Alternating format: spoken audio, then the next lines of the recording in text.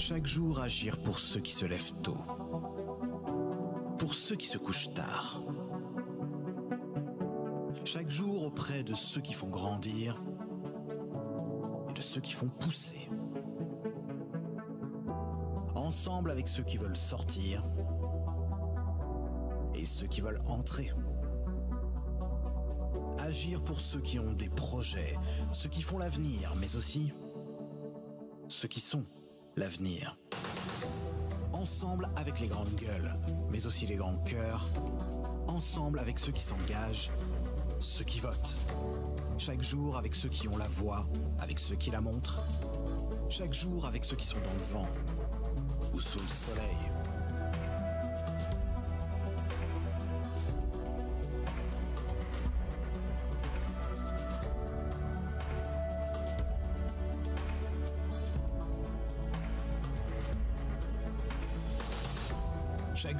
Avec ceux qui inventent, ceux qui se réinventent. Chaque jour avec ceux qui nous rapprochent, avec ceux qui nous lient, avec ceux qui nous relient. Agir pour ceux qui font naître et ceux qui font renaître. Ensemble avec ceux qui prennent soin et avec ceux qui réparent, avec ceux qui cassent la baraque, avec ceux qui la construisent. Ensemble avec ceux qui visent les étoiles. Ensemble avec ceux qui font rêver.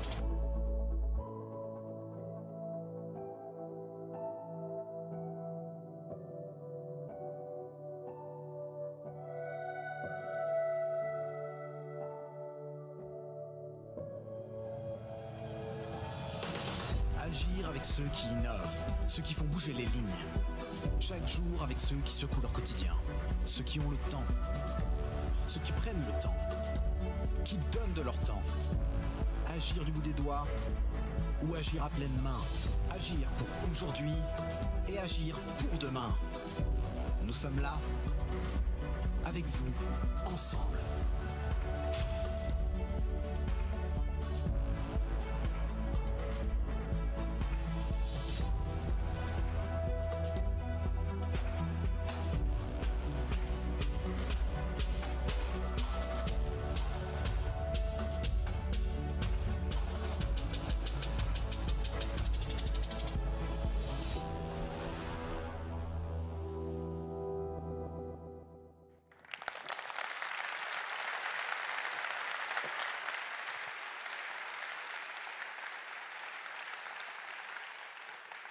Bonsoir. Merci, euh, merci d'être euh, présents, aussi nombreux ce soir, euh, ce soir à, Tours pour cette réunion d'information. Alors peut-être avant de, commencer, je vais vous demander peut-être de, fermer vos téléphones pour éviter d'être pollués par les, par les sonneries, si vous le voulez bien.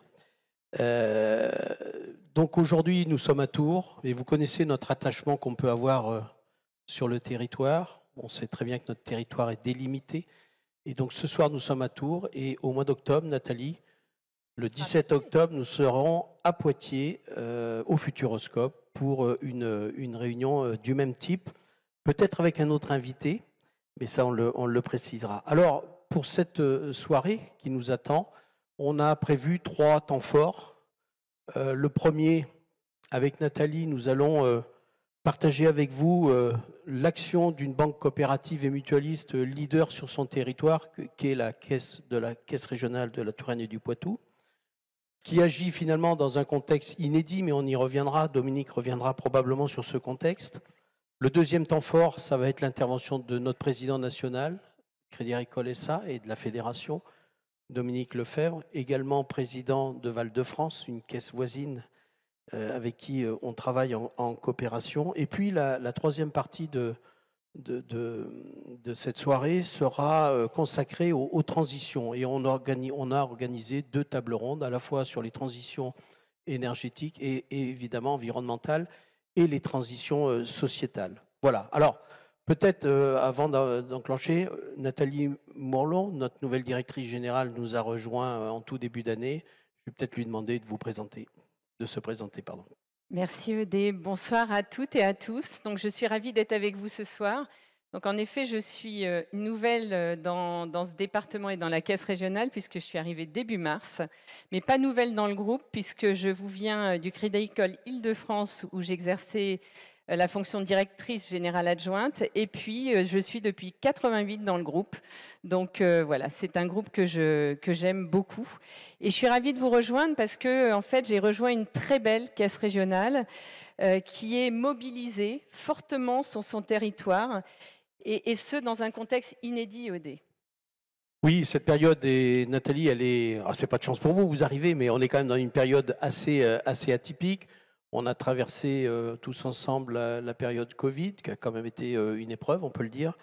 Et puis aujourd'hui, avec les mouvements géopolitiques, la guerre en Ukraine, pardon de, citer ce mot aussi violent, la guerre en Ukraine, et puis les conséquences économiques que tout ça peut avoir. Donc on est bien dans un, dans un environnement singulier.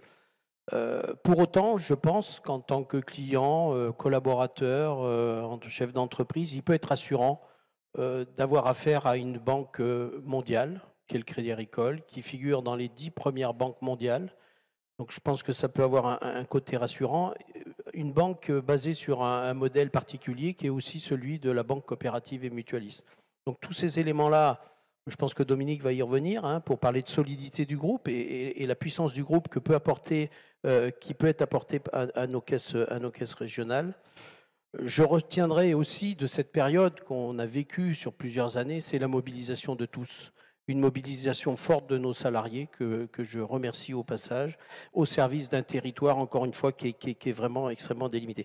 Mais en fait, euh, les mobilisations, c'est multiple, en fait. Il y en a plusieurs, plusieurs euh, types. Oui, en effet. Et puis, je voudrais euh, revenir, au dé, si vous me le permettez, sur le fait qu'on ait une banque universelle de proximité. Ça peut paraître anodin, mais c'est loin d'être le cas. C'est-à-dire qu'on est le banquier sur le territoire de tous les clients, que ce soit les particuliers, professionnels, entreprises, collectivités locales, euh, sur tout le territoire euh, urbain et rural.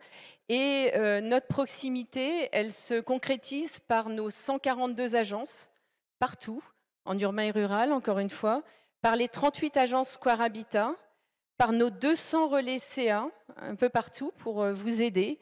Et puis, nous avons des partenaires qui sont très proches de nous. Plus de 900 partenaires agissent avec nous au quotidien et, évidemment, je ne vais pas oublier nos 64 caisses locales qui nous permettent d'être très très proches de vous.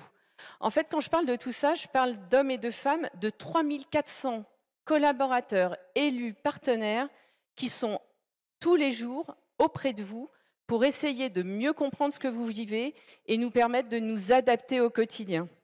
Ça, c'est vraiment la force de notre modèle. Une des forces aussi, évidemment, c'est le fait que les résultats que l'on fait tous les ans, à 85%, viennent renforcer nos fonds propres. Alors pourquoi on dit ça? Parce que renforcer les fonds propres, ça nous permet de, travailler avec vous et de financer vos projets. Euh, c'est indispensable, sinon on ne pourrait pas le faire. Et donc aujourd'hui, la caisse régionale est une caisse régionale solide. On a 2,5 milliards de fonds propres, mais ce n'est pas tant les milliards et ce n'est pas tant les fonds propres, c'est que tout ça, on le met à, votre service, au service des deux départements d'Indre-et-Loire et de la Vienne. On est aussi une banque de plein exercice et de territoire. Et on a, l'année dernière, et c'est aussi l'originalité du modèle, on a accompagné plus de 50 000 projets euh, sur les deux départements euh, au, même temps que certains euh, s'arrêtaient de, financer l'économie, on a continué et on a réalisé un peu plus de 2,3 milliards de, de, financement. Euh, et aujourd'hui, on a un peu plus de 12 milliards d'encours de financement sur les deux départements, ce qui fait de nous le plus gros financeur privé des deux départements. Et ça, c'est aussi important. On a aussi on a aussi euh, voulu euh, garder une vraie proximité dans la décision. Et là, c'est pareil, nous sommes la seule banque de territoire sur l'Indre-et-Loire à avoir ces centres de décision en local. C'est vrai d'ailleurs sur l'Indre-et-Loire comme sur la Vienne, puisque nous avons deux sièges, un à Tours, un à Poitiers, avec des centres de décision dans les deux sièges pour pouvoir être le plus rapide, le plus réactif et coller le plus à ce que demande le territoire. Et puis, cela passe aussi par euh, un modèle assumé. Plus de deux clients sur trois sont sociétaires Et j'imagine que dans la salle, vous êtes nombreux à être sociétaires. D'ailleurs, euh, est-ce que vous pouvez lever la main, les sociétaires? Eh bien voilà, c'est super. Et donc, à nos côtés tous les jours, vous portez le modèle, vous faites rayonner notre banque et je vous en remercie. On a aussi euh, dans, ce, modèle OD euh, la volonté d'accompagner des transitions, des transitions à la fois environnementales et sociétales. Est-ce que vous pouvez nous en dire quelques mots? Oui, quelques mots. Euh, déjà peut-être un rappel, parce que tout le monde ne le sait peut-être pas, mais le groupe Crédit Agricole, même s'il peut être critiqué, attaqué sur certains sujets par des ONG, c'est le premier financeur des énergies renouvelables en France. C'est lui qui est le leader à la fois en part de marché, mais aussi sur ces sujets-là. Donc ça mérite d'être rappelé. Euh, et puis, pour ce qui nous concerne, Caisse régionale Touraine-Poitou, on a une, habitude de dire euh, doublement vert, la Caisse régionale doublement verte. Pourquoi? Parce que ben, ça fait déjà un peu plus de 15 ans que notre Caisse régionale s'est consacrée à développer les énergies renouvelables. Je, vais reprendre un raccourci, les, ENR. 15 ans que nous avons euh, déjà euh, emboîté ce pas avec des agriculteurs en premier, mais avec les entreprises, des professionnels ensuite, et particuliers maintenant. Euh, quelques chiffres. Alors, on a, on a au 31 décembre plus de 836 millions d'euros engagés sur, de financement engagés sur ces sujets de, de NR. On a aussi dédié une équipe particulière. On a, on a constitué une équipe particulière pour développer ces énergies-là. Dès 2018, il y a 11 personnes qui se consacrent à ces, activités-là. On le fait, elles le font euh, plutôt pour le compte de la caisse régionale, mais également pour les quatre caisses régionales de CARCENT avec qui on travaille euh, en coopération. Euh, et puis, on est en capacité aujourd'hui, mais c'est à titre d'exemple, parce que je sais que les sujets vont être repris tout à l'heure, on a cette capacité à, pouvoir apporter des offres clés en main. D'ailleurs, la, table ronde va être consacrée, je, n'en dis pas plus. Peut-être euh, un scoop, je ne sais pas si on peut qualifier ça de scoop, mais compte tenu des enjeux, des engagements qu'on aura à, respecter aussi dans ces domaines et la volonté qu'on a d'avancer et d'aller plus vite, d'accélérer, euh, on, a constitué, on va constituer un véhicule financier qui va nous permettre de participer en capital à ce développement. Et on a cette ambition euh, à 10 ans de, pouvoir y consacrer 100 millions d'euros. Vous voyez, c'est un rapport avec les fonds propres dont parlait Nathalie tout à l'heure. Euh, les responsabilités, les, transitions, on parlait des ENR tout à l'heure, enfin transition euh, écologique, et, on peut aussi également parler des transitions euh, sociétales. C'est aussi au cœur de nos préoccupations, ça fait partie de nos valeurs, la, responsabilité, la solidarité. La solidarité, juste un chiffre pour caractériser ce qui s'est passé en 2022 la Caisse régionale a consacré 2 millions d'euros en soutien aux associations, principalement aux associations, mais aussi partenaires, dans des domaines très divers et variés, le sport, souvent, domaine culturel, l'éducation, côté un, sujet important, la santé et le bien-être. Donc tous ces éléments-là, on essaiera bien entendu de, continuer. On a sur le bien vieillir, par exemple, qui est un sujet de société qui nous concerne évidemment. J'accélère, euh, Nathalie. Euh, nos sujets de, société, le, bien vieillir, euh, sachez qu'on a su accompagner par, par, rapport à des besoins locaux de, communautés, par exemple du béguinage. Ça, on a, innové dans ce domaine et on va continuer à travailler. Donc c'est une mobilisation euh, entière. Alors, je, me tourne vers Nathalie. On a un contexte euh, particulier, je vous l'ai dit. Est-ce que ces éléments-là, on va pouvoir les, faire perdurer? Est-ce que le, contexte est, porteur pour continuer? Alors, Odé, là, c'est la petite minute anxiogène, mais ça va vite passer. C'est vrai que dans un contexte euh, difficile, incertain, alors si on ajoute géopolitique, inflation plus durable que prévu, d'une remontée des taux à une vitesse qu'on n'a jamais, euh, jamais vue, des crises de liquidité dans certains pays, on a vu ce qui s'est passé aux États-Unis, les tensions sociales, les modifications de comportement des clients, voire des équipes, ben, en fait, on, aurait, on serait tenté de finalement se recroqueviller, rester sur nous-mêmes et attendre que ça se passe. Sauf que ça, c'est pas du tout nous. C'est ni le groupe Crédit Agricole, ni la Touraine et le Poitou. Notre ADN, c'est justement de montrer ce que l'on est quand ça va pas bien. C'est là que tout notre modèle a sa puissance.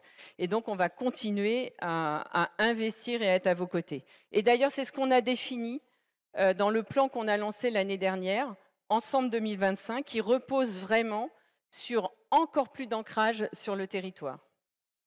Nous avons donc la responsabilité à la fois évidemment de promouvoir les projets, mais aussi d'être aux côtés de tous ceux qui investissent, de tous ceux qui entreprennent dans, le territoire, pour fédérer autour de vous, si vous avez besoin de nous, euh, des innovations et euh, d'ouvrir avec vous des nouvelles voies pour développer nos deux départements. On peut aussi euh, revenir, au dé peut-être quelques minutes sur les axes qu'on a, qu'on a partagés l'année dernière lors du lancement du plan, enfin que vous avez partagé. Je n'étais pas là, malheureusement, mais c'était un très bon moment d'échange. Oui, ben, je pense qu'on peut parler, euh, revenir peut-être et affirmer notre proximité et ce devoir d'agir. Hein. On a parlé d'être leader et, donc ça, nous oblige sur ce territoire. Euh, on voudrait, euh, on veut, on souhaite interconnecter tous nos réseaux. Quand on parle de nos réseaux au Crédit Agricole, on parle des, collaborateurs, on parle des, administrateurs, mais on parle aussi de nos partenaires, nos prescripteurs sur le territoire. Donc ils sont assez nombreux. Donc tout ça, il faut qu'on améliore encore ce, se chasser en meute, quoi. Enfin, je le, dis en termes de, chasseur, ça va pas plaire à Dominique parce qu'il n'est pas trop chasseur, mais voilà, il faut qu'on interconnecte tous ces réseaux et qu'on améliore encore euh, l'efficacité, qu'on aille chercher de, l'efficacité. Euh, ensuite, euh, nous poursuivrons le développement, évidemment, en, en réaffirmant notre engagement, notre engagement sur le territoire, notre proximité. Ça, on pense tout de suite à nos agences on a pris l'engagement de ne pas fermer des points d'avente et je le réaffirme ce soir. Et, on va réfléchir, d'ailleurs, on est en train, c'est pas complètement décidé, mais on en prend le chemin, c'est d'accélérer notre programme de rénovation d'agence. Ce programme était déjà engagé, on, espère avec Nathalie pouvoir l'accélérer au plus vite, euh, et ça, petit passage pour les professionnels, on le fait avec 80, 80% des travaux sont faits par des entreprises du territoire. Donc euh, ça mérite, je pense, d'être euh, souligné également. Euh, enfin, on a aussi cette prétention. Alors, c'est un mot qui m'effraie toujours un peu, surtout quand je l'entends dans la bouche d'un ministre, et on va chercher à simplifier nos process. Le tout, c'est d'y arriver. Il ne suffit pas de le dire, il faut y arriver, de manière à connecter à la fois le 100% digital qui nous caractérise et le 100% humain qui nous caractérise également. Et donc ça, il faut qu'on trouve euh, l'articulation pour rendre les choses encore plus faciles pour nos clients, nos sociétaires. Enfin, on prend l'engagement aussi de développer des, tiers-lieux, des tiers-lieux là où c'est nécessaire, on ne peut pas en mettre partout, mais là où c'est nécessaire, des tiers-lieux pour favoriser la vie locale et, le développement de nos territoires. Euh, voilà, donc ça, tout ça, on arrivera à le faire et ça va nous permettre de réussir tout ce qu'on a, on nous attend sur les transitions, c'est des éléments qui doivent nous favoriser, qui doivent favoriser notre action sur le territoire pour atteindre nos objectifs dans, ce domaine.